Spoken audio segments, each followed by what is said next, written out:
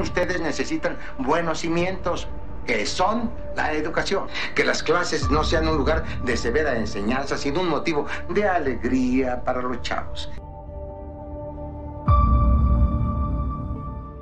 Soy el nuevo maestro. Ya ve, don Margarito, por no haber ido a esperarlo a San Bartolo, a lo mejor ya le pasó algo. ¿Y qué? En el Romeral maldita la falta que nos hacen los maestros.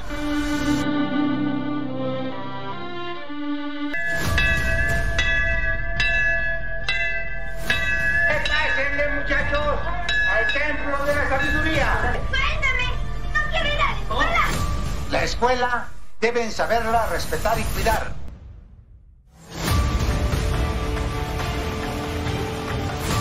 Que el niño se sienta orgulloso de ustedes. Creo que esta vez se les pasó la mano, don Margarito. No son cuatro paredes lo que hace una escuela. La escuela la hace el profesor y sus alumnos.